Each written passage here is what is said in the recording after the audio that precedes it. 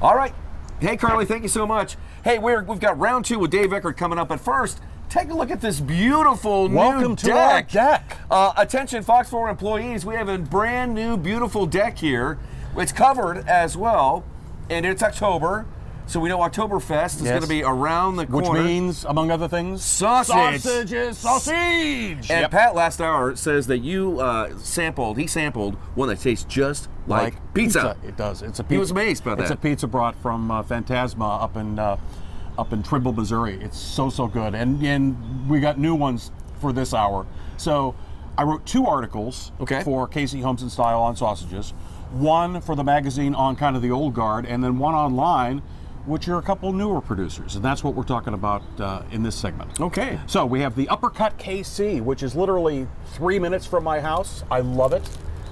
Uh, they are at 9769 North Cedar, basically just outside Liberty, and she features Akaushi beef from her home style ranch, and she makes incredible steaks and roasts, but equally incredible brats, sausages, jerky, burgers, dogs, and sides.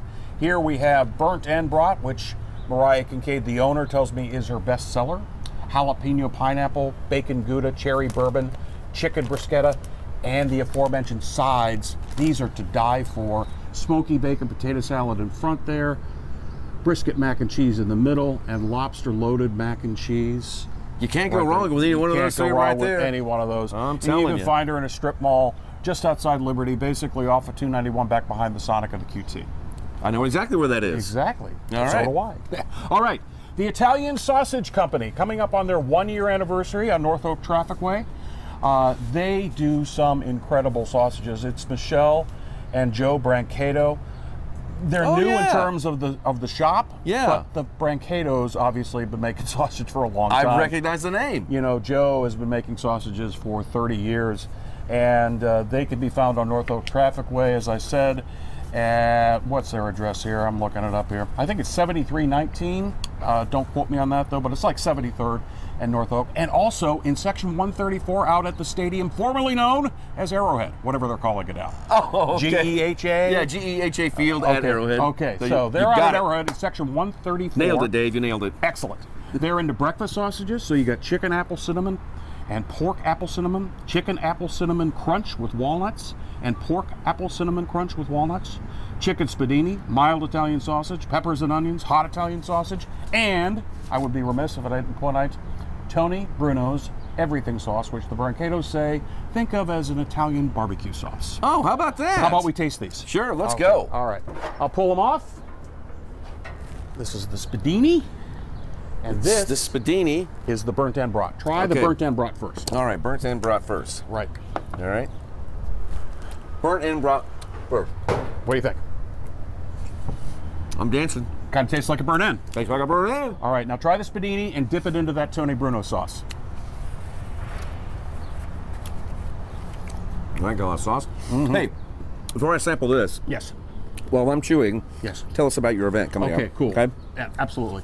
Thank you very much. So, got a charity over in Lee's Summit called One Good Meal. For 25 plus years, they've been serving meals, delivering meals to elderlies, and it allows senior citizens to remain in their homes as opposed to going into assisted care. So, it's really a good thing. They got their big uh, annual event this weekend called Gin and Jazz. It's at 6 p.m. Saturday. Harris Park Community Center in Lee's Summit. They'll have live music, great food, silent live auction items in a 1920s speakeasy format. Apparently, they have only a few tables left. I'm going to be there. Oh, good. People can go to onegoodmeal.org or call 816 547 6394. And live auction items include family sports package, two nights at a Branson golf condo, boutique bourbon offering, and an original oil painting.